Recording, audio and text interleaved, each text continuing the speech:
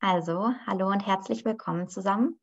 Auch für die Teilnehmenden. Es werden immer mehr, das freut mich sehr. Ähm, der Reim war unbeabsichtigt, aber es ist immer ganz schön. Ich begrüße Sie alle recht herzlich zur Online-Veranstaltung Landschaft als Wasserspeicher, wo es um die gleichnamige Studie des Naturparks Südschwarzwald gehen soll. Und das Thema ist von absoluter Brisanz und Relevanz. Ähm, ich denke, viele von Ihnen, die hier auch jetzt zuschauen, haben das dieses Jahr ganz hart gemerkt an den eigenen Flächen. Ähm, die Folgen des Klimawandels machen sich auch bei uns hier in Südbaden sehr stark bemerkbar. Wir haben ein verändertes Niederschlagsregime, sehr viel Trockenheit im Sommer, dafür stärkere Niederschläge im Winter beispielsweise. Die Durchschnittstemperaturen erhöhen sich, um nur ein paar Sachen zu nennen. Ich will Ihnen ja nicht vorweggreifen. Ähm, Tatsache ist, dass sich eben diese Veränderungen auch auf die Landschaft und auch auf die Bewirtschaftungsweisen auswirken und dass wir uns mit diesen Themen einfach in der Zukunft immer stärker auseinandersetzen müssen. Und deswegen freue ich mich auch sehr, dass wir heute hier mehrere Personen begrüßen dürfen, die sich mit dem Thema schon ausgiebig auseinandergesetzt haben. So hat der Naturpark Südschwarzwald ja schon 2019 einen Abschlussbericht zu einer Vorgängerstudie ähm, Landschaft im Klimawandel herausgegeben und jetzt eben mit der neuen Studie Landschaft als Wasserspeicher die konkreten Maßnahmen in den Blick genommen, die Bewirtschafter anwenden können, um eben das Wasser auf ihren Flächen zu halten, um sozusagen besseres Wassermanagement zu betreiben. Und ich freue mich sehr, heute da einen kleinen Einblick zu gewinnen. Später kommen auch noch ähm, Praktika hinzu, beziehungsweise ein Praktika. Wir haben leider eine Absage bekommen von einer Teilnehmenden, die ist kurzfristig verhindert. Aber ich denke, wir bekommen trotzdem tolle Einblicke und ich freue mich. Jetzt würde ich gerne in die Runde abgeben und eine ganz kurze Vorstellungsrunde starten. Ähm, noch eine ganz kurze Sache, auf die ich Sie hinweisen möchte, ist eben, dass auf der Website von dem Naturpark Südschwarzwald auch die Studie einsehbar ist. Also wir packen das auch alles unten in die Caption rein von unserer ähm, Aufzeichnung. Und wenn Sie im Hintergrund ein beständiges Tibbeln hören, dann bitte ich, bitte ich das zu entschuldigen, weil unser Hund äh, anscheinend immer noch Hunger hat. So, ich würde gerne mal an Herrn Schöttl abgeben. Vielen Dank, Herr Schöttl, dass Sie da sind. Da bin ich im Vorteil. Ich habe unsere Katze schon gefüttert. Sie liegt voll und brav auf dem Sofa. Ja, liebe Interessierte an diesem Fußballabend, herzlich willkommen auch. Vielen Dank, dass Sie sich für unser Thema interessieren. Ich möchte anfangen mit der kleinen Vorstellungsrunde. Mein Name ist Roland Schöttle. Ich bin seit oh, über 18 Jahren Geschäftsführer im Naturpark Südschwarzwald. Mein Hintergrundbild habe ich deshalb gewählt, jetzt fast ein frühlingshaftes, sommerhaftes Bild, weil wir A auf dem Feldberg gar keinen Schnee mehr haben und B, weil das Bild eigentlich ganz gut ausdrückt, um was es heute geht, um was es mir geht, um was es im Naturpark geht. Es geht ihm um die Offenhaltung dieser artenreichen, vielfältigen Kulturlandschaft. Und wenn Sie genau schauen, sehen Sie auch Dörfer noch in meinem Hintergrundbild, nämlich Mensch und Natur soll im Naturpark zusammenkommen, ist unser Fokus. Soweit zu meiner Person. Dann würde ich Ihnen noch einen Wippel weitergeben. Ja, mein Name ist Bernd Wippel. Ich arbeite seit gut zehn Jahren bei der Firma Unique Land Use wir arbeiten national und international an Themen der Landnutzung in Forst- und Landwirtschaft und haben uns da quasi verschrieben der Aufgabe, ähm, Nutzungskonzepte, nachhaltige Nutzungskonzepte zu entwickeln. Und wir sind schon seit, glaube ich, jetzt, also ich selber seit 15 oder 20 Jahren mit dem Naturpark äh, gemeinsam in Projekten unterwegs von ganzjähriger Weidehaltung, Außenhaltung von Rindern ähm, zu Waldthemen, zu Naturschutzthemen unterwegs. Und wir haben jetzt in den letzten zwei, zweieinhalb Jahren dieses Projekt Landschaft als Wasserspeicher durchgeführt. Dann gebe ich weiter an meinen Kollegen Axel Weinreich. Du bist noch stumm. Danke, jetzt geht's besser. Einen guten Abend auch von meiner Seite. Ähm, Axel Weinreich, mein Name, bin auch tätig bei Unique Land Use und an den genannten Studien im Zusammenhang mit dem Klimawandel und dem, der Gebietskulisse des Naturparks äh, auch in den letzten Jahren beteiligt und so auch an dieser Studie zur Landschaft als Wasserspeicher. Dankeschön. Ja, vielen Dank. Jetzt wissen Sie es, mit wem Sie es zu tun haben. Eine Kombination zwischen einem äh, Fach, Fachfirma, Fachdienstleister eigentlich, der weltweit unterwegs ist, aber auch seinen Schwerpunkt in Deutschland hat und speziell in langer Tradition auch im Naturpark Südschwarzwald, der in der Region zu Hause ist, vor allem durch seine Vorgängerprojekte und der den Projekttyp, so wie wir unsere Projekte beim Naturpark immer verstehen, einerseits zwischen Wissenschaft spannen kann und andererseits zur Praxis hin. Bernd, du wolltest den Bildschirm, glaube ich, teilen oder Axel? Dann würden wir, glaube ich, in die erste Folie einsteigen. Axel, würdest du es machen? Ich würde ungern das nochmal anfassen hier und genau. meine Anmeldung oder meine ähm, hier durcheinander bringen.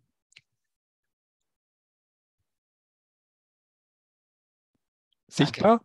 Jetzt ist sichtbar. Ja. Vielen Dank.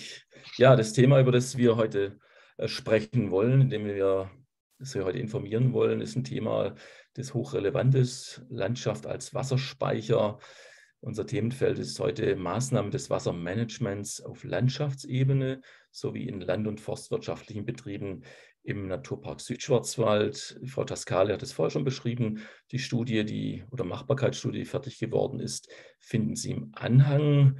Für diejenigen, die sagen, hm, Studie ist Studie, wir haben äh, im Grunde die wunderbare äh, Chance bekommen, auch von unserem Fördermittelgeber, dem Landwirtschaftsministerium Baden-Württemberg, hier auch die Umsetzung mit zu organisieren. Das heißt, das, was wir Ihnen jetzt noch einigermaßen theoretisch vortragen, werden Sie hoffentlich Ende der nächsten zwei Jahre dann auch so an verschiedenen Orten im Schwarzwald sehen. Die nächste Folie. Wir würden mit Ihnen gern heute sprechen, zunächst mal über den Südschwarzwald unter dem Titel Aus der Wasserfülle in die Knappheit, dann das Projekt Landschaft als Wasserspeicher vorstellen, vor allem unseren Ansatz Experten, Praxis, Modellierung, das ist der Kernansatz unseres, unserer Machbarkeitsstudie und dann Ihnen als Abschluss für diesen Kurzinput dann Ergebnisse und Ausblick geben, wie soll es denn in diesem, äh, in diesem Machbarkeitsstudie mit diesem Projekt bei uns weitergehen, bei Naturpark. Nächste Folie. Ja, auf der rechten Seite sehen Sie die, denke ich, dem einen oder anderen einigermaßen bekannte Folie, der, der, der bekannte Überblick. Sie sehen den Naturpark Südschwarzwald, links außen im Westen die Stadt Freiburg auf irgendwelchen 235 Meter äh, Höhenlage und der Feldberg natürlich mit 1493 Meter Höhenlage. Wir befinden uns eben in diesem Mittelgebirgslagen, die dadurch geprägt sind im Südschwarzwald, dass sie halt noch viele offene Landschaften haben eigentlich also ein innigliches Verhältnis von Wald und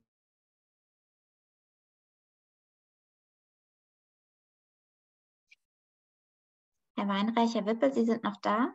Ja. ja Dann ist es der Herr da. Schättle, der leider gerade kurz hängt. Mhm. Mm, Sie können gerne übernehmen. Wir können auch gern kurz warten. Manchmal da bekommen das die Referierenden ja leider gar nicht mit, dass sie hängen. Ich würde einfach weiterreden, bis der ähm, Herr Schöttl wieder einsteigt, wenn Sie einverstanden sind. Upp. Ja, ich würde ganz gerne, Herr Wippel, noch einen ganz kurzen Hinweis an die Zuschauenden geben, dass Sie gerne Fragen im Chat stellen können. Ich werde das immer schön im Blick behalten und dann an die Referenten immer schön weitergeben. Genau. Mhm. Danke. Gut. Also hier der Naturpark Südschwarzwald, einer der größten oder ich glaube sogar der größte Naturpark in Deutschland in ganz, äh, sagen wir so, exponierten Stelle, äh, Stelle in, in Südwesten Deutschlands mit, ja, ich sag mal, dieser, mit diesem Wechsel in der Landschaft zwischen Offenland, Wald und diesen Mischbereichen von Sukzessionsflächen, ähm, typischer Mittelgebirgsstandort, der hier eigentlich aus der Vergangenheit überhaupt kein Wasserproblem hat und immer gut Wasser versorgt ist und äh, auch durch diese Höhenlagen ganz besondere ähm, mal, Formationen äh, bringt, also Borstgrasrasen und ähm, artenreiche, äh, ähm, sag mal, artenreiches Grünland. Äh, viele FFH-Lebensraumtypen sind hier im Wald und, äh, und im Offenland äh, zu Hause und mit großen Flächen vorhanden. Und die kommen jetzt sozusagen, werden konfrontiert mit einer mit einem abnehmenden Niederschlagsschlag äh, in der Vegetationsperiode, mit höheren Temperaturen und damit, ich sag mal, einen Stress ausgesetzt, der in, in den Vorgängeruntersuchungen so deutlich zu, sag mal, in, ähm, so herausgearbeitet wurde und wo wir sagten, es wäre eigentlich interessant, äh, mal zu schauen, wie kann denn ähm, Landschaft und bewusst nicht jetzt äh, Grünland, Ackerland, Wald, sondern Landschaft, so auf dieser, ich sage jetzt mal einen englischen Begriff, auf dieser Landscape-Ebene, wo können da Maßnahmen getroffen werden, die hier für eine verbesserte Wasserversorgung sorgen und diese Klimawandel, diesen Klimawandeleffekte ähm, abmildern äh, und kompensieren. Ich glaube, ich könnte wieder übernehmen. Ah, Roland, wieder, bist du wieder da? Ich bin wieder ich habe mich schon, ich habe mich ja, schon so warm geredet. Schon warm geredet, das ist gut. Also du darfst ja, übernehmen. Wir sind ja gut abgestimmt, genau. Und äh, der Fokus zum, zum Naturpark an der Stelle nochmal zurückzukommen von unserem Anliegen ist natürlich immer der, der Mensch. Uns interessiert natürlich die Zukunft der Landwirte nochmal. Die Landwirtschaft gibt es seit Hunderten von Jahren im Schwarzwald und wir wollen dafür sorgen, dass sie auch in Hunderten von Jahren in der Zukunft noch überlebensfähig ist. Und deshalb sind dieses Setting von, von Machbarkeitsstudien, das wir eben angesetzt haben für die Besonderheit, die der Rippel beschrieben haben, für diese Mittelgebirgssituation, äh, möchte praktisch Perspektiven bilden, nochmal bieten, wie wir vorankommen. Und ein Teil immer unserer Machbarkeitsstudie sind tatsächlich auch immer Forderungen an die Politik. Noch tatsächlich ist ein große, das werden Sie nachher hören, Transformationsleistung der Landwirtschaft zu leisten. Natürlich haben sich die Schwarzwaldbäuerinnen und Bauern immer angepasst, gar keine Frage, aber es sind große Herausforderungen, wo im Zweifelsfall auch finanzielle Zahlungen notwendig sind. Das ist auch im Fokus. Genau. Ja, aus der Wasserfülle in die Knappheit. Die Zeitungen sind gerade im Moment voll. Jetzt hat es mal wieder eine Nacht lang geregnet. Das hat unsere kleine Seele wieder beruhigt. Die Dreisam sieht auch schon wieder einigermaßen anständig aus, aber ich gehe davon aus, dass heute Fachpublikum dabei ist, ihre Äcker, die sie vielleicht gerade sich überlegen, zu richten oder irgendwelche letzte Baumpflanzungen im Wald. Das ist dieses Jahr schon sehr besonders und komisch, dass man hofft, dass überhaupt das Getreide entsprechend aufläuft oder die Bäume dann nicht doch noch gegossen werden müssen. Genau. Die Folge natürlich jetzt für diese Herausforderungen sehen wir aber nicht nur forstwirtschaftlich, äh, sondern auch im Bereich Naturschutz. Und da darf ich um die nächste Folie dann bitten. Genau. Die Kernanliegen von unserem Projekt sind einfach ganz konkret einen Hinweis zu geben, nochmal, wie die Landwirtschaft im Grunde sich fit machen kann, sich fit machen kann. Unsere Perspektive sind die nächsten 50 bis 100 Jahre. Wir stellen Ihnen vor praxistaugliche Empfehlungen zur Umsetzung von Maßnahmen genau dieses Wassermanagements in der Land- und Forstwirtschaft. Wir wollen aber diese Maßnahmen natürlich auch quantifizieren, das heißt über eine Modellierung die Wirkungsanalyse durchführen und das auf konkreten Betriebsflächen auch ausprüfen. Äh, die Niederschlagsmengen wollen wir verstärkt zurückhalten. Das hat zwei Gründe. Einerseits Ahrtal, Hochwassersituationen natürlich einerseits vermeiden, andererseits natürlich das im Winter verstärkt äh, die winterverstärkten Niederschläge dann auch zurückhalten, sodass auch im Sommer das Vieh an der Wassertränke einfach noch wieder Wasser vorfindet und, und der, äh, der Tränkebrunnen auch im Sommer noch fließt und das Vieh nicht von der Weide runtergeholt werden muss. Und natürlich auch, um äh, unter Einbeziehung des Wassermanagements auch die ökologischen Effekte zu verbessern. Wir haben im Naturpark Südschwarzwald deutlich über 50 Prozent schützenswerte äh, Flächen EU, FFH-Gebiete, Naturschutzgebiete, Landschaftsschutzgebiete und dergleichen. Und hier geht es auch darum, tatsächlich dort diese Lebensraumtypen natürlich auch durch solche Maßnahmen zu unterstützen. Die nächste Folie. Wir haben seit, der Wippel hat es eingangs schon dargestellt, seit einigen Jahren uns im Grunde eigentlich mit verschiedenen Konzepten auseinandergesetzt. Rechts finden Sie auch die, hier ist ein Hinweis auf unsere Homepage. Der eine Punkt war zunächst mal 2014 bis 2016 die Klimaanpassung für die Landschaft des Naturparks.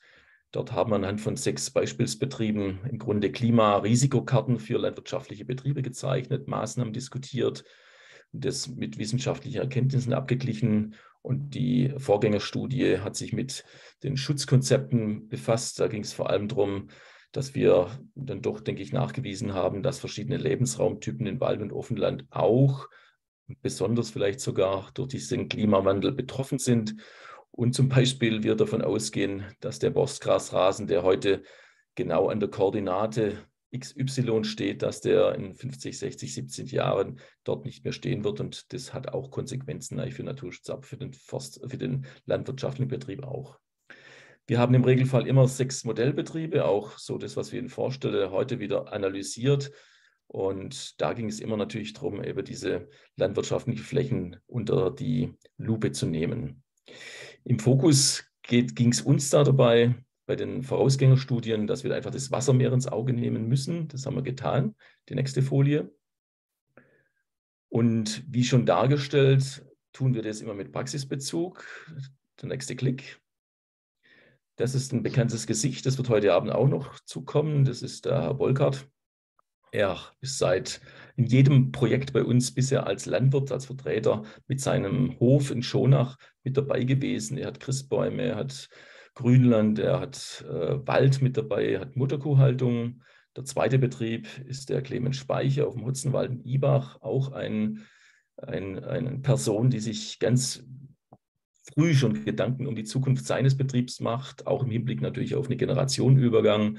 Er hat auch Wald, Grünland, Forstwirtschaft spielt eine große Rolle, auch voll im FFH-Gebiet, Borstgrasrasen unterwegs. Dann der Herr Kaiser, der nächste Klick. Er hat Geflügelhaltung, ist sicherlich ein bekannter Betrieb noch und äh, Grünland Ackerbau, also das heißt schon mehr im Barbereich. Da spielt die Landwirtschaft mit dem Pflug noch eine wesentliche Rolle. Und dann die Frau Bauer als nächster Betrieb, äh, Entschuldigung, der Herr Schwörer, Moment, der Schwörer ist mit dabei, Milchviehbetrieb, noch äh, der äh, jetzt in ganz besonderer Art und Weise natürlich auch mit der Weidehaltung oder Stallhaltung betroffen ist, äh, vom, von der Wasserzufuhr für seine Tiere. Dann als fünfte die Frau Bauer, die heute leider kurzfristig absagen musste. Von über sie oder über den Hof werden wir heute relativ viel noch sprechen. Eine Bäuerin im, in Bernau, die wirklich mitten in den äh, blauen Mauritiusflächen des Naturschutzes sitzt in Bernau. Das heißt, Sie mit, ihrer, mit ihren Co-Landwirten in Bernau haben eine besondere Art und Weise in der Vergangenheit diese Landschaft sehr geprägt. Und Bernau ist natürlich ein Hochtal, äh, das äh, auch sehr besticht durch dieses gute Miteinander von Landwirtschaft und äh, Naturschutz. Und da geht es natürlich besonders auch darum, die Landschaft offen zu halten. Und zum Schluss ganz unten, schon im Lörracher Raum, der Obsthof Drechsel, der im Grunde schon diese Toskana-Verhältnisse heute schon hat, auf die wir uns alle gemeinsam ja irgendwie vorbereiten. Die nächste Folie. Ein ganz kurzer Folie noch, wo kommen die Mittel her? Gleichzeitig auch die Dankesfolie sozusagen. Das Land Baden-Württemberg hat auch diese Studie gefördert, durchgeführt von der Firma Unique, unterstützt von der Firma Fischer Teamplan, die sich um, das, äh, um die Modellierung der, der hydrologischen Untersuchungen gekümmert hat. Die nächste Folie. Und äh, da sind Ihnen drei bekannte äh, Logos mit drin. Die habe ich unter anderem deshalb mit drin, um Ihnen zu zeigen, dass auch führende Betriebe in der Region, die Schwarzwaldmilch oder Naturenergie oder der Wasserversorger Aquavilla im Schwarzwald-Baar-Kreis, eben auch sich dieser Fragestellung annehmen, wie kann es weitergehen. Bei der Schwarzwaldmilch geht es eigentlich darum, dass die Kühe was zu saufen haben. Bei der Naturenergie geht es darum, dass das Wasserrädchen am Rhein sich dreht. Und bei Aquavilla geht es darum, dass in den Wasserleitungen äh, in Schönwald, in Furtwangen, dass auch tatsächlich Wasser kommt. Also wirklich auch nicht nur ein tierisches Anliegen, sage ich, sondern im höchsten Maße auch ein menschliches Anliegen. Wir haben diese Projekte immer so aufgesetzt, dass wir neben den sechs vorgenannten Praxispartnern, die ich Ihnen gerade kurz vorgestellt hatte, auch äh, die Wissenschaft mit dabei hatte, ganz konkret die Forschliche Versuchsanstalt und die Universität Freiburg waren Partner in dem Bereich mit dabei. Die Fachverwaltung hat uns mit unterstützt, sodass wir dieses Projekt auch tatsächlich mit Leitplanken führen konnten. Zum Schluss, bevor ich dann an den Herrn Wippel übergebe, möchte ich gerne noch hinweisen auf ein ganz interessantes Projekt, das in Bayern läuft. Das ist uns sozusagen in unserer Arbeit über den Weg gelaufen. Das Projekt Bodenständig. In Bayern sind die tatsächlich von der Verwaltungsseite, die Verwaltung deutlich weiter, wenn es darum geht, den natürlichen Wasserrückhalt in der Agrarlandschaft zu verbessern. Wenn Sie googeln bodenständig Bayern, dann werden Sie auf eine Organisation treffen, die irgend so ein Twitter-Ding ist, zwischen Flurbereinigungsverwaltung und Landwirtschaftsverwaltung und die ganz konkret in Bayern über die Regierungspräsidien Bauern berät, Bäuerinnen berät, wie sie ganz konkret mit Landschaftsmaßnahmen äh, Wasserrückhalt erzeugen können auf ihren Äckern und Wiesen. Davon träumen wir noch. Das ist übrigens auch ein kleiner Baustein, den wir Richtung Politik schon formuliert haben, dass wir hier tatsächlich Unterstützung brauchen. Damit wäre ich für die kurze Rahmensetzung, glaube ich, durch. Und dann würde ich gern den Inhalt übergeben mit der nächsten Folie.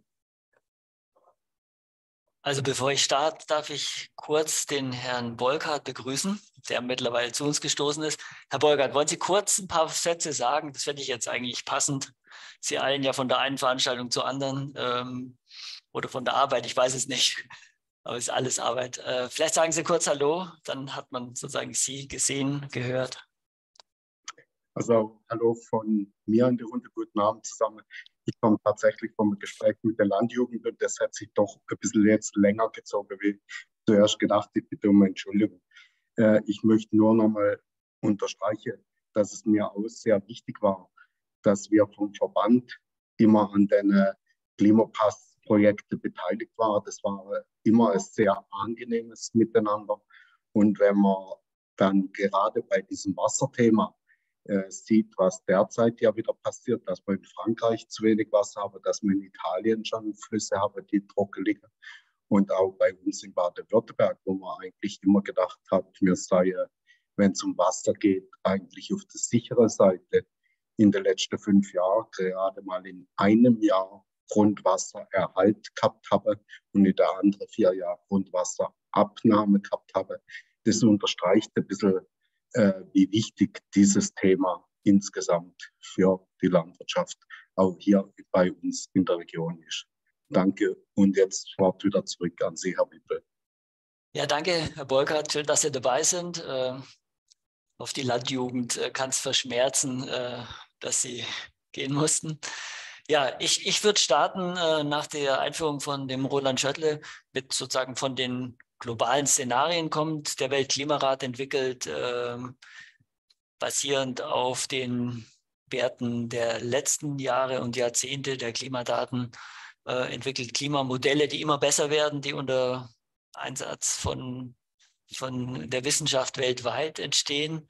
Und Sie sehen hier auf der Linie, das ist äh, angepasst auf die Situation in Baden-Württemberg, die Temperaturentwicklung seit 1880. Sie sehen diese diese ähm, Jahreswerte, die da schwanken. Und interessant ist natürlich die, der 30-jährige Mittelwert, das ist die Linie. Und Sie sehen, seit 1980 steigt die kontinuierlich an, stoppt jetzt 2020, das ist sozusagen, wo wir jetzt gerade sind. Und dann geht es weiter mit den Szenarien. Hier dargestellt ist das Zukunftsszenario RCP 8,5 oder 8.5. Ähm, das ist ein Szenario, das ähm, das sozusagen annimmt, es geht weiter wie bisher. Also hier wird nicht irgendwas mit, äh, mit, mit sagen wir mal, ähm, stark umgesetzten Klima, ähm, Klimawandel-Vermeidungsstrategien gearbeitet, sondern wie bisher. Und es scheint sich eher in diese Richtung ja auch zu bewegen. Sie sehen diese blocknahe Zukunft, das ist 2021 bis 2050. Die Durchschnittstemperatur bewegt sich so knapp, also unter 10, also zwischen 9 und was bis 10 Grad. Und dann der große Block von, also dieser, der rechts oben 2071 bis äh, 2100, also die ferne Zukunft. Dort steigt die Te Temperatur weiter und bewegt sich dann zwischen 11,5 und, äh, und 12,5 Grad. Das sind die Szenarien in Richtung Temperatur, also es wird deutlich wärmer. Diese ähm, Szenarien werden immer besser, immer fundierter und von daher kann man davon ausgehen, dass das auch unter den Voraussetzungen, dass nicht dramatisch etwas in, sich in die bessere Richtung verschiebt, so eintreten wird. Nächste Folie. Das gleiche dann, also nicht das gleiche, aber sagen wir, von der Temperatur in Richtung Wasser, äh, also Niederschlag, sehen Sie hier ähm, den Niederschlag in, in Baden-Württemberg. Die Verteilung ähm, wird sich sozusagen in Richtung Winter und also in Richtung Nicht-Vegetationsperiode, Winter ist schon fast ein, Begriff, den man gar nicht mehr verwenden kann, bewegen. Und es wird zu einem deutlichen Rückgang des äh, Niederschlags in der Vegetationsperiode kommen.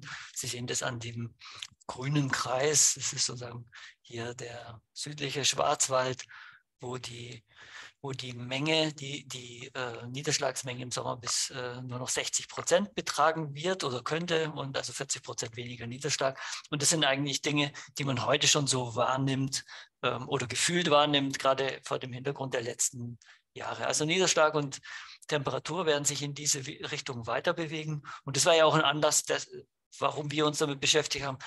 Ist man dem hilflos ausgeliefert oder kann man was tun? Und äh, deswegen jetzt nochmal zurück, nächste Folie, deswegen jetzt nochmal so zurückkommend äh, auf den, auf den Eingangs, äh, auf die Eingangsthemen, ähm, was der Roland Schöttlin bei der Zielstellung äh, sagte. Wir hatten sozusagen also Literatur recherchiert, wir haben die Praktiker gefragt, wir haben die Wissenschaftler gefragt und diese Handlungsansätze, die jetzt hier im Folgenden kommen, die sind, ich sage mal, nicht unbekannt. Äh, ich würde sie deswegen trotzdem nochmal so in, in ihrer Strukturierung nennen.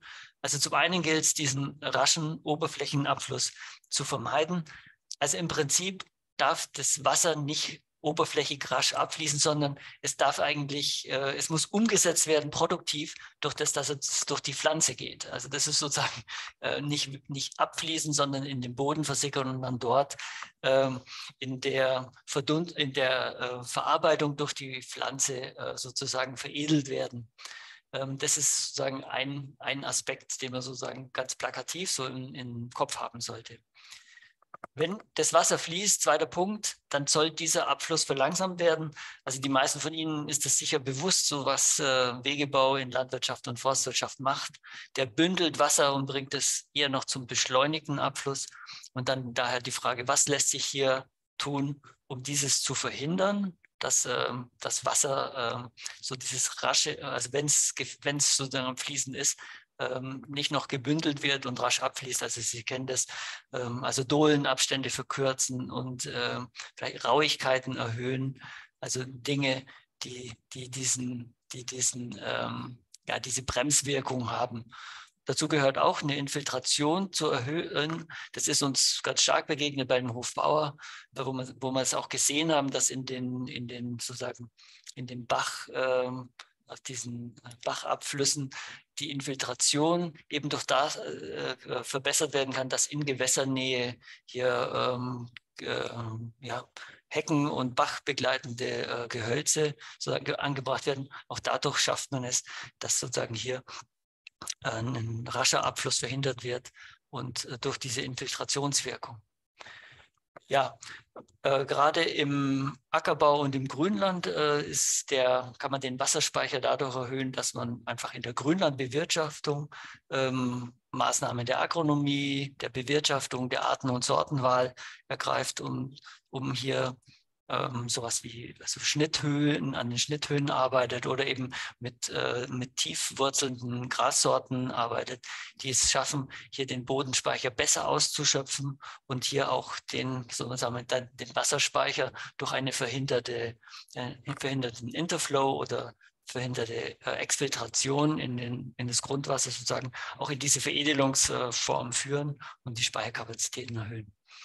Ja, der ähm, spezifische Wasserverbrauch in der Land- und Forstwirtschaft. Das ist ein Punkt, auf den sind wir nicht sehr intensiv eingegangen. Der ist uns in einem, sozusagen in einen oder auch in, in glaube ich, bei zwei Betrieben begegnet. Also so etwas wie auf Dachflächen ähm, den, also das Wasser auffangen und dadurch den den Wasserverbrauch des, des, des, ich sag mal, der Trinkwasserqualität zu verhindern, indem das so etwas, ja, das Brauchwasser hier genutzt wird, statt dass es abfließt in die Kanalisation ähm, oder in die, ähm, sozusagen in die, in die, sozusagen in die Vorfluter dann geht, hier äh, dieses Wasser nutzt, um den Trinkwasserverbrauch zu senken, also für Viehtränken oder für Bewässerungsanlagen.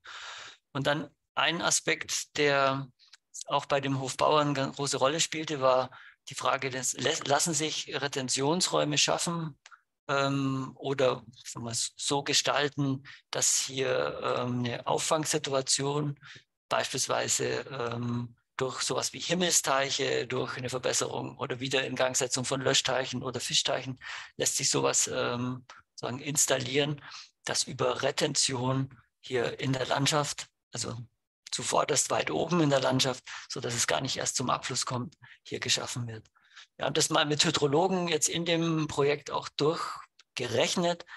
die Menge ist nicht riesig. Also was man durch solche ähm, Retentionsräume an, an äh, Starkregen dann auffangen kann und zurückhalten kann. Ähm, aber immerhin ist es etwas, was es dann schafft, hier die Wasserspende in die, äh, in die niederschlagsärmeren Phasen ähm, sozusagen zu verstärken oder zu verschieben.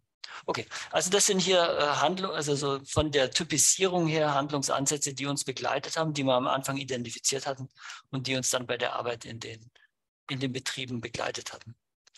Gut, dann können wir weitergehen. Das ist das Modell, vielleicht ganz kurz. Also wir brauchten so ein, ein Gedankengebäude, das haben wir dann ganz am Anfang mal äh, nach Studien der Literatur haben gesagt, wir brauchen sowas selber, das wir selber erstellt haben. Also auf der einen Seite links ist das äh, sozusagen der Niederschlag, der kommt, und auf der rechten Seite ist sozusagen das, was äh, sich ähm, von dem, was sich von dem Niederschlag äh, in einer Verdunstung und in einer, einer Pflanzenverdunstung und Oberflächenverdunstung sozusagen wegbewegt. Und ähm, es gibt gerade bei dem Niederschlag so diese Frage, was, äh, was gilt zu verhindern? Das ist äh, diese kleine, ähm, dieser kleine sozusagen Block des Oberflächenabflusses, den gilt es zu verhindern. Es gilt den Interflow ähm, zu verringern, also das, ich sag mal, das seitwärts ausbüchsende Wasser und die Exfiltration, also diese rasche Speise ins Grundwasser, sondern es gilt den Bodenspeicher, insbesondere den Bodenspeicher zu stärken und dann über die Verdunstung durch die Vegetation sozusagen zu veredeln. Also das ist so das, unser, das war so unsere, ich will mal sagen, unsere Story. Ähm, wie, wie kann man es schaffen, hier diesen Bodenwasserspeicher zu stärken ähm, und damit die Dinge, das ist aber dieses rasche Verschwinden von Wasser ähm, aufzuheben. Also vielleicht nur kurz, also wir hatten so ein Modell im Kopf und äh, haben dann gesagt, äh, sozusagen, so wollen wir agieren in äh, Grünland, Ackerbau und, und Waldwirtschaft und das muss das Ziel sein, hier gerade diesen Bodenwasserspeicher ähm, hier in dieser, in dieser Interaktion zwischen Niederschlagsbefüllung und Verdunstung durch die Vegetation ähm, hier zu aktivieren. Können wir weitergehen? Ja, bei der Grünlandverbesserung, das ist ja so ein mit einem Hauptaspekt gewesen, der jetzt ähm, beim, bei dem Hofbauer hier für uns, ähm, uns begegnet ist und auch bei anderen äh, Betrieben, wie jetzt auch bei Ihnen, Herr Beukert. Also zum einen ist es die Frage der Arten- und Sortenwahl. Also wie kann durch, ähm, ja, durch trockenresistente und tiefwurzelnde Arten hier diese, dieser Effekt erzielt werden. Das zeigt uns dann nachher auch die Modellierung. Also die Durchwurzelungstiefe verhilft uns da, dabei, also wenn, wenn so diese, diese von 30 Zentimeter auf 40 oder noch tiefer die, die, ähm, die Sorten es schaffen, den Boden zu durchwurzeln, dann aktiviert es den Bodenspeicher, dadurch, dass einfach die, die Wurzeln sozusagen diesen Bodenspeicher mit aufnehmen und verwerten können. Denn wenn hier nicht tiefe wurzelnde mal, Pflanzen da sind, dann ist auch der Bodenspeicher hier äh, nicht für, diese, für diesen Pflanzenwachstum und für die Interaktion jetzt zwischen Speicher und, äh, und Verbrauch der Pflanzen nutzbar. Also das ist der, der eine Aspekt. Der andere Aspekt ist, ähm, ist die sogenannte Agronomie. Zum einen gehört dazu hier das Vermeiden von Lücken. Also ist immer wieder sozusagen im Spätsommer tritt es ja auf. Man sieht es, dass hier durch, also durch, ähm, durch Trock, also Trockenschäden oftmals noch in Verbindung mit, ähm, mit der sagen wir so, Beweidung auftreten. Und ähm, hier schafft man es eben durch Aussaat, durch Nutzung geeigneter ähm, und, und resistenter äh, Grassorten hier das zu verringern, äh, äh, das, dieses zu verhindern oder äh, diese Lückenentstehung. Und dadurch verringert sich auch hier Erosion durch Wasser ähm, und ähm, also durch vor allem Starkregenereignisse. Wir gehen mal ein Bild weiter. Ja, ähm, das ist, sagen, vielleicht Axel, magst du was zu sagen zu dem, zu dem Betrieb? Also wir kommen nachher nochmal bei einer genaueren, bei einer intensiveren Darstellung da. Vielleicht kannst du ein paar Worte zu dem.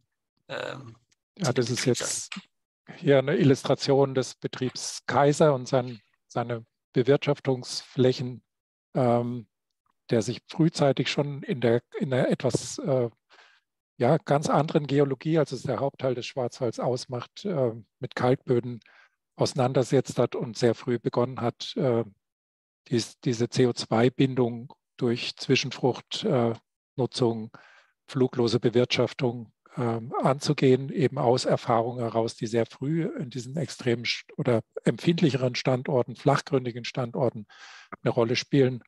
Ähm, und dort geht es um, um Grünlandbewirtschaftung, aber auch um, um Ackerflächen, die natürlich hier in, in neue Bewirtschaftungsmaßnahmen ähm, kommen sollten, um genau dem zu dienen, nämlich diese, dieses Wassermanagement zu verbessern. Gut, ein, ein Aspekt, der, mit dem wir intensiv diskutiert haben und der auch sehr widersprüchlich war, ob das überhaupt sozusagen machbar ist, das sind Agroforstmaßnahmen. Agroforstmaßnahmen schaffen es insbesondere durch die tiefere Durchwurzelung äh, von Baumgruppen, von Hecken, äh, von Bachgehölzen hier ähm, in, also in den Bodenspeicher positiv einzugreifen und auch durch die, durch die das Bremsen von Winderosion durch Beschattung hier eine sehr positive Effekte bringen. Ähm, wir werden das nachher zeigen am Beispiel von, von dem äh, Hofbauer.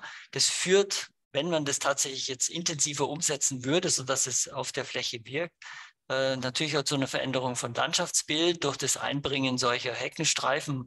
Man sieht es auf dem oberen rechten Bild nur ganz leicht angedeutet.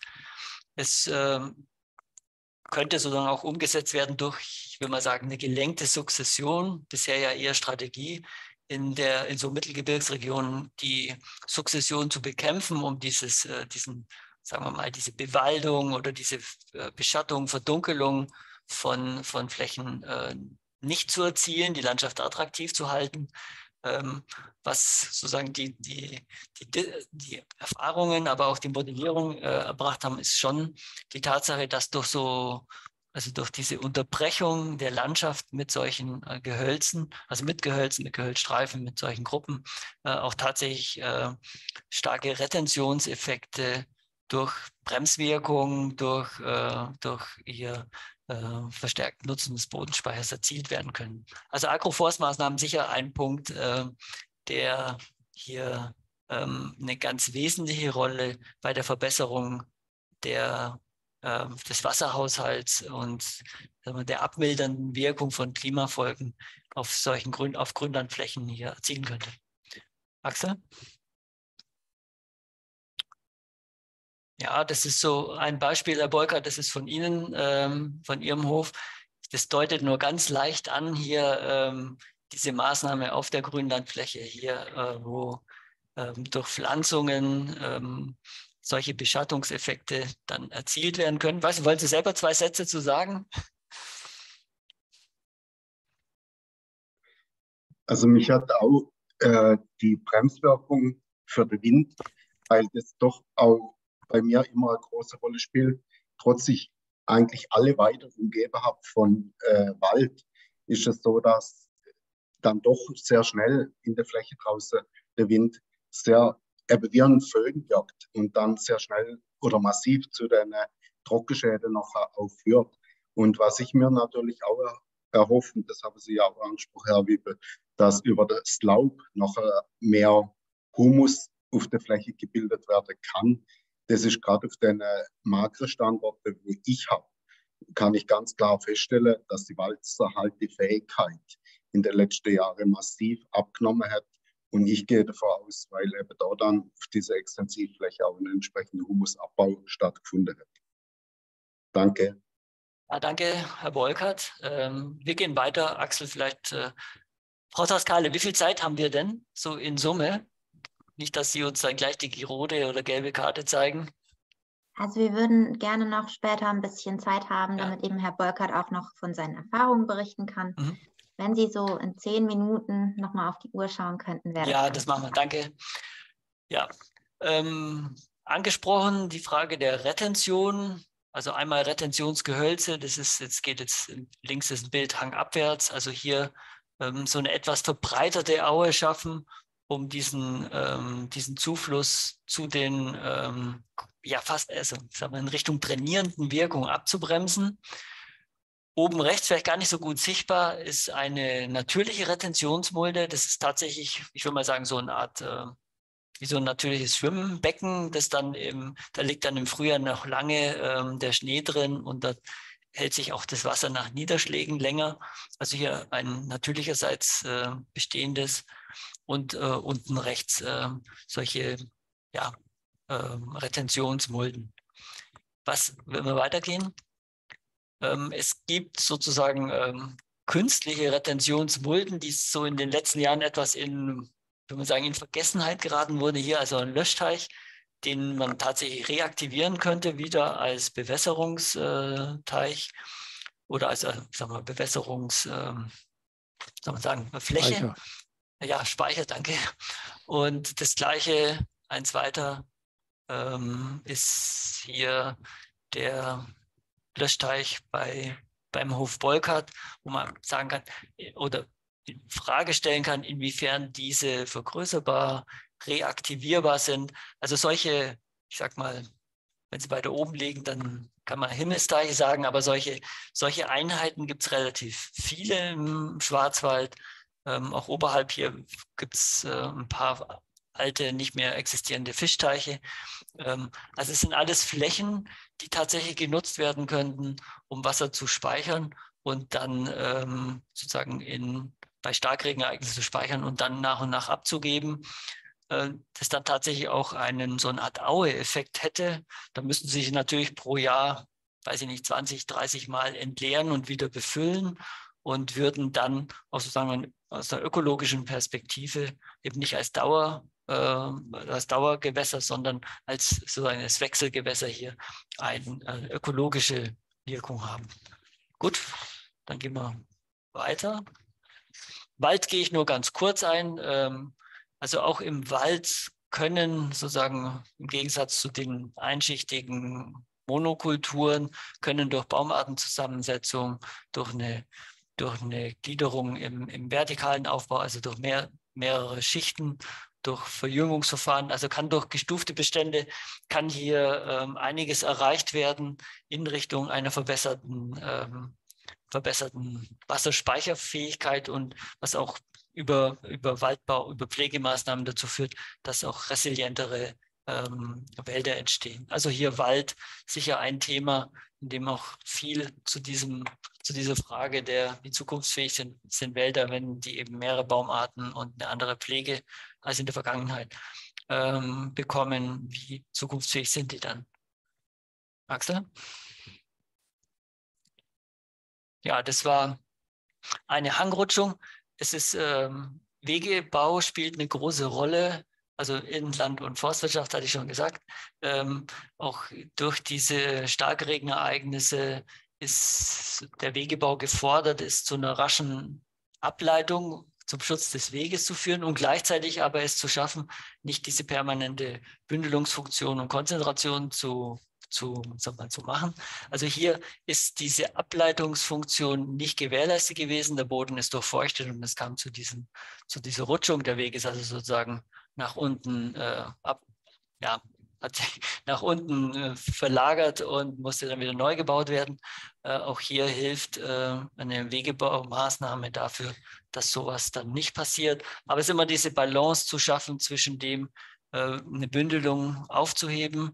Hier ist natürlich die Frage dann von über Durchlässe, Abstände und äh, Durchlass ähm, ähm, ähm, Stärken ähm, angebracht. Wie kann ich das gestalten, um hier ähm, beiden gerecht zu werden, nämlich das Wasser nicht zu bündeln, sondern möglichst auch wieder zu verteilen am, äh, am, an, der, äh, an der Hangseite.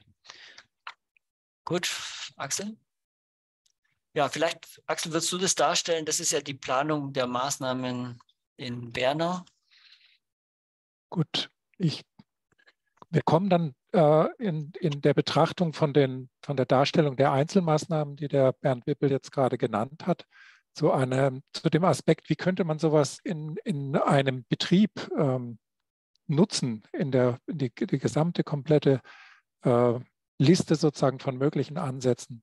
Und das ist hier an einem Geländeausschnitt rot umrandet von circa 270 Hektar im Bereich des Hof Bauer, der hier unten eingezeichnet ist. Das sind also nicht alles Flächen, die äh, zum Hof gehören, aber die zu dem Landschaftskomplex gehören und die illustrieren sollen, wie wir auf Landschaftsebene mit einer Bündelung oder mit einer Anordnung von einem Maßnahmenbündel agieren könnten. Wir fangen mal an mit den gelben Flächen, die Sie hier drüben als Mähwiesen dargestellt sehen.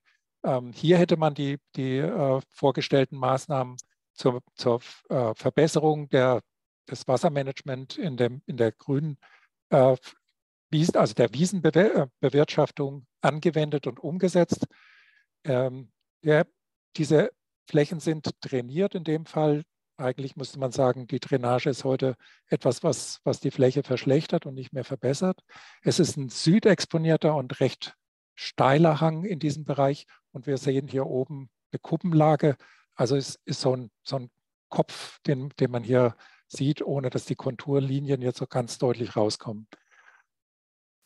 Man sieht an, an, an der, in der blauen Farbe ähm, die Ge Gewässerlinien, also was entwässernd hier ist, von kleinen Bächen bis hin zu nur zeitweise wassergefüllten Mulden, ist hier angedeutet, an welchen äh, Stellen und, und Bändern in, der, in dem Abflussgeschehen Retentionsgehölze eingesetzt werden könnten.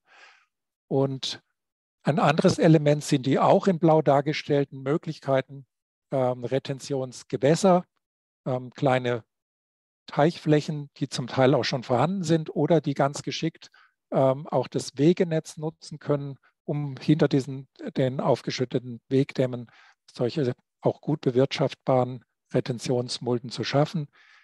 Hier oben, das war der, das Foto, was wir eben gesehen haben von einer natürlichen Mulde. Eine ähnliche Verebnung gibt es ganz oben auf der Kuppe das sind äh, Ansätze, wo man tatsächlich oben im Gelände in einem frühen Stadium Wasser zurückhalten kann. Ein weiteres Element, das geht jetzt um den grünen Bereich, Agroforst Hecken, hier als gelb-grüne ähm, Linien eingezeichnet, die sich zum einen an den schon vorhandenen äh, Hecken, jetzt zum Beispiel hier im unteren Teil oder hier zwischen den Mähwiesen orientiert haben, aber einfach verstärkt werden und die sich andererseits an den Weglinien anlehnen können, an der oberen Seite der Böschung, wo sie eben auch gut äh, platziert werden könnten, den Hangwasserfluss unterbrechen. Äh, das Ganze ähm, ähnelt von der Anordnung auch den Ideen, die beim, beim Keyline-Design verwendet werden. Diese, entlang dieser Hecken kann, kann Wasser auch geschickt abgeleitet werden, sodass es äh, von dem Wasserlauf in Richtung der Konturlinien wiederum in trockene Bereiche gelenkt wird, wenn man diese Hecken mit kleinen Eingriffen in den Boden und, und damit so eine Art äh, Mulde noch zusammendenkt in der Gestaltung der Landschaft. Und zuletzt rot umrandet, blau, dieser Kreis, das sind äh, auch wichtige Punkte, nämlich die Zisternen für die Viehtränke, wo äh, der Gedanke war, dass man möglichst viele ähm, Punkte, geschickte Punkte nutzt und in, in den Abfluss hinein auch noch weitere Zisternen plant, denn äh, das eben das, die, die Speicherkapazität äh, in der Zukunft auf diesem Südhang geringer wird von jeder einzelnen Zisterne. Das ist eigentlich auch klar und wurde auch, auch äh, so als, als, als Moment stark diskutiert, weil ähm, Zisternen tatsächlich trocken gefallen sind, von denen noch nie jemand davor äh, wusste, dass, dass sowas passieren kann in einem Sommer. Das war dann nach drei Trockenjahren dann plötzlich der Fall. Eine, äh, eine Maßnahme habe ich noch vergessen, das sind tatsächlich Agro, Weit, Agroforst-Weideland, das sind heißt lockere Baumbestockungen, die jetzt anknüpfen an die frühere ähm, auch Bestockung, die auf diesen Flächen auf stark felsigen oder äh, mehr trockenem Untergrund da war. Also hier auch wieder die Idee, an den höchsten Stellen anzufangen, um diese Vertiefung in, in, in der Durchwurzelung zu nutzen, anknüpfend an auch Flächen, die äh, eben standörtlich für die Weide auch nicht so attraktiv sind und andererseits die eben oben im Gelände gelegen sind, um diese Effekte zu verstärken.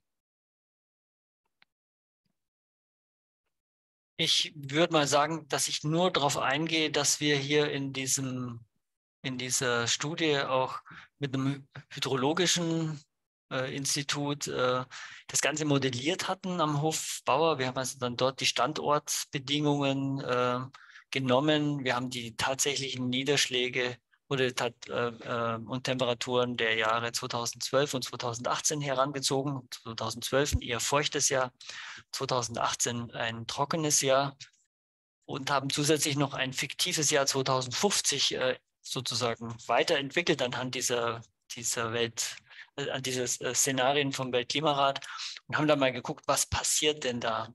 Ich würde Ihnen das im Einzelnen ersparen und auf die übernächste Folie gehen und nur ähm, sozusagen auf die Aussage, wie viel Trockenstresstagen sind, ist denn das, das Grünland ähm, ausgesetzt in dem Jahr 2012, in dem Jahr 2018, im Jahr 2050? Also sozusagen weiterentwickelt in, äh, in Richtung äh, Klimaveränderung. Und was wäre, wenn ähm, wir hier mit der Mähwiese so weiter verfahren, wenn die weiter so behandelt wird wie bisher? Oder was wäre, wenn die Mähwiese mit solchen ähm, Maßnahmen wie andere Sortenwahl und andere, andere Behandlungsmethoden, Schnitthöhen, ähm, Auspflanzen von, ähm, von, Fe von Fehlstellen hier behandelt werden würde. Wir sehen das im also und äh, Trockenstress ist dann gegeben, wenn die Wasserverfügbarkeit der Pflanzen unter ein bestimmtes Niveau fällt. Wir sehen 2012 gibt es sozusagen null Trockenstresstage. Das heißt also, aus Ausgangspunkt, Baseline, so wie es war, hat sich nichts verändert. Das heißt, es kann auch nicht besser werden äh, oder äh, es kann sich ja nicht verändern mit den angepassten Maßnahmen. 2018 gab es äh, 26 Trockenstresstage, also tatsächlich sozusagen in unserer Modellierung mit den Vorortverhältnissen und dem Niederschlagsregime. und wenn wir jetzt unsere Modellierung durchführen, wären das nur fiktiv neun gewesen. Würden wir jetzt ins Jahr 2050 gehen, dann würden, ich sag mal, unter einer nicht äh, angepasst, also in einer weiter, weiter so Bewirtschaftung 33 Trockentesttage, Stresstage anfallen und in diesen angepassten Maßnahmen 21.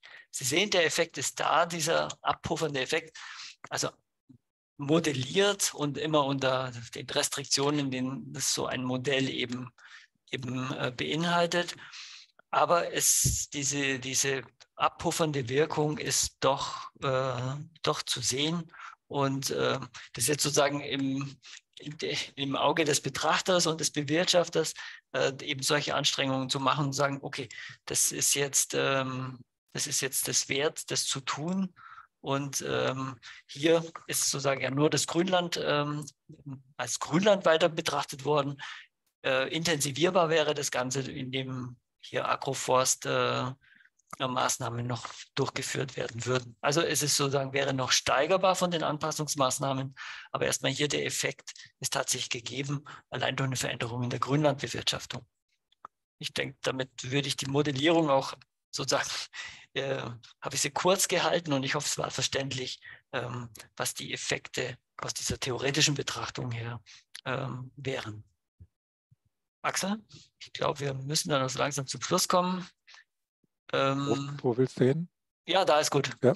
Also was, was die Diskussionen waren, gerade im Hinblick auf eine Veränderung des Grünlands, es ist viel, äh, sind viel FFH.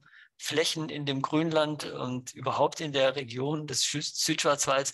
Und jeder Eingriff, jede Veränderung bedeutet ja auch eine Veränderung ähm, in, die, in, in einem Gebiet, das man eigentlich nicht verändern darf. Man kann auch sagen, der Klimawandel darf es auch nicht verändern, das tut er aber. Also aus unserer Sicht wäre es trotzdem notwendig, hier in diesen, ähm, auf diesen Gebieten, in diesen Kulissen zu arbeiten, auch, auch daran, dass man sozusagen dieses äh, erhält mit diesen abpuffernden Maßnahmen und nicht die gesamte Fläche dann aus der Lebensraumtyp-Eigenschaften äh, äh, Eigenschaft hier sozusagen rausfällt. Also in Summe steht hier quasi sozusagen der Ansatz einer Verbesserung oder einer Abmilderung der Effekte, demgegenüber, dass man eigentlich diese Fläche so erhalten müsste, dass sie diese Lebensraumtyp-Eigenschaft weiterbehält, was aber im Zuge des Klimawandels und auf mittlere Perspektive eher unwahrscheinlich äh, erscheint.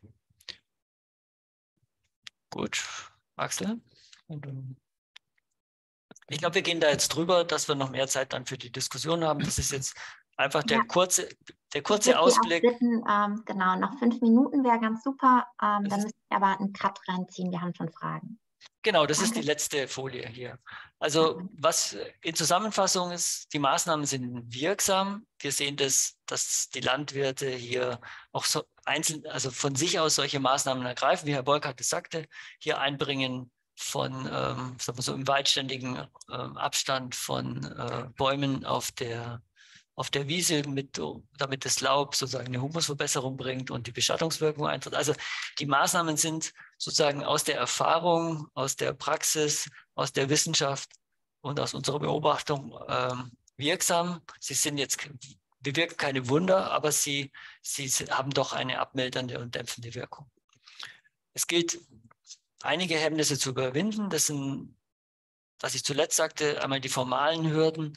Wenn man eingreifen wollte in, äh, in solche Systeme, dann stehen ähm, naturschutzfachliche, sicher naturschutzfachliche berechtigte Interessen oftmals dem entgegen und sagt, ähm, ich habe es ausgeführt und unserer Ansicht nach sollte man gerade deswegen proaktiv auch so auf solchen Flächen arbeiten, ähm, um hier ähm, also die Schutzwirkung auch sozusagen auf den Restflächen zu erhalten und auch um solche Dinge einfach, ich sage es mal, auszuprobieren.